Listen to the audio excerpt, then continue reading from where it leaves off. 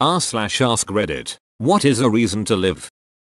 Because if I killed myself then a bunch of frickin' girls who bullied me in school would post about me on Instagram about how sad they are and how nice they were to me. And those hoes don't deserve to have the chance. This is actually oddly inspiring. How ironic.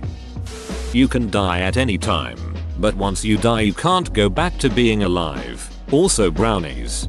I don't even like brownies, but I was thinking about suicide. Thanks for saving me.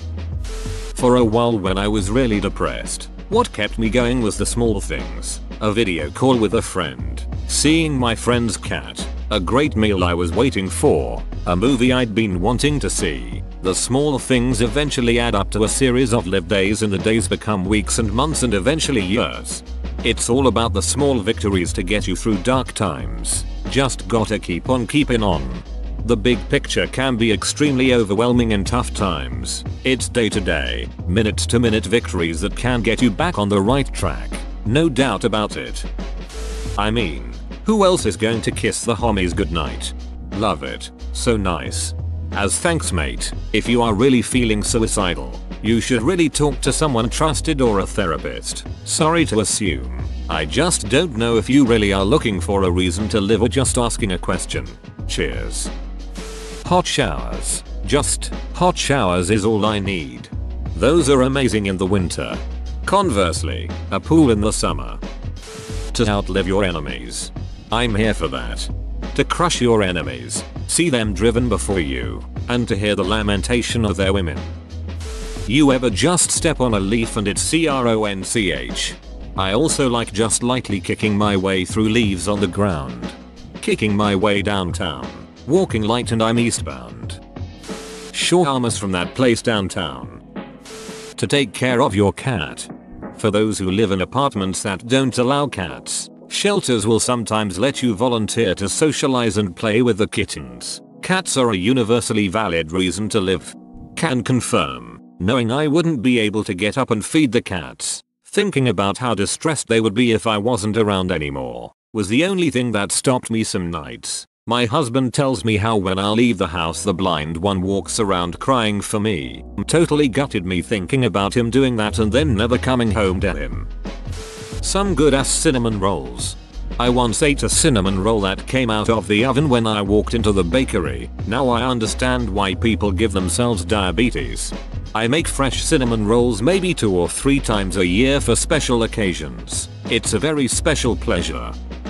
Mood and circumstances are temporary. Death is permanent. 32 was the worst year of my life. I thought I might die at one point. Had I died, I'd have never taken the best vacation of my life. I'd have never become an uncle. I wouldn't have been there to help family and friends through their own problems. I don't regret a moment of living no matter how painful it gets.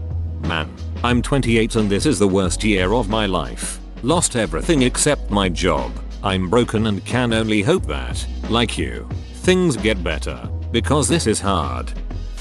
Cyberpunk 2077 is less than a week from release. If it gets delayed again, I'll send you a message and make sure everything is okay. LOL. All these answers are so good. That feeling after winter and it's the first semi-warm day and you walk outside and it's amazing and that feeling fills you right up. Additionally, the first real fall day where things feel brisk enough to wear a sweater, but not cold enough for a heavy jacket. Sweater weather as they call it.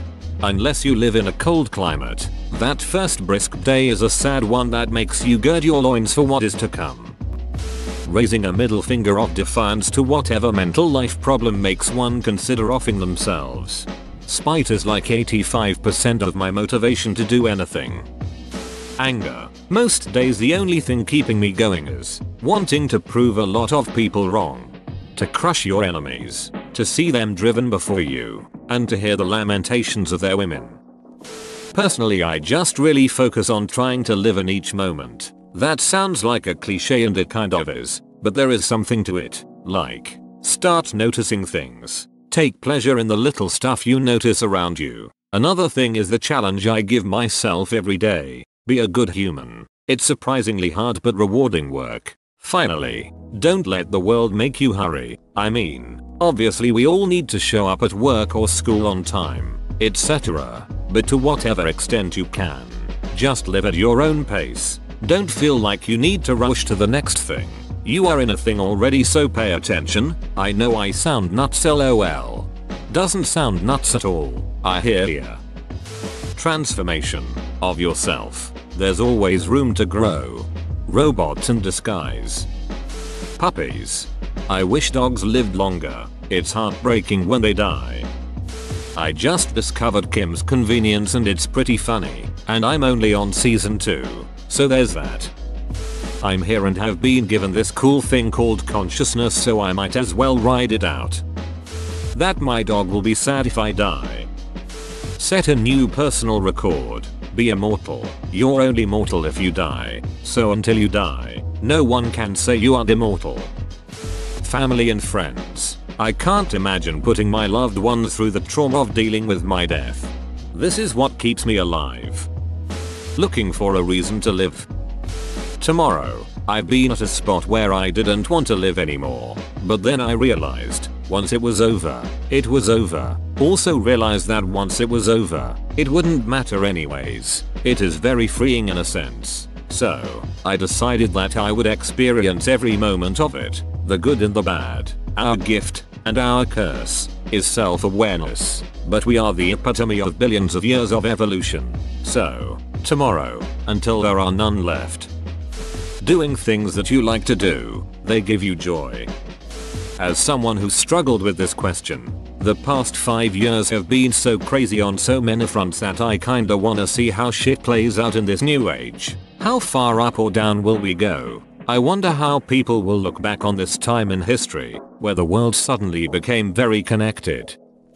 Learning. Seriously, there's so much to learn. The world has so much to offer. Physics, biology, arts, language, history, music, philosophy. There's more to see than could ever be seen in a lifetime. That always helps me get out of bed and do stuff. I want to experience and learn as much about the universe within my limited time as I can.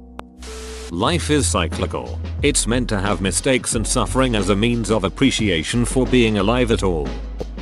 Whoa, you made it to the end? You're a ducking beast. I'll cut you a deal. Smash like and subscribe for more curated content bruh. It's free and that's a great price.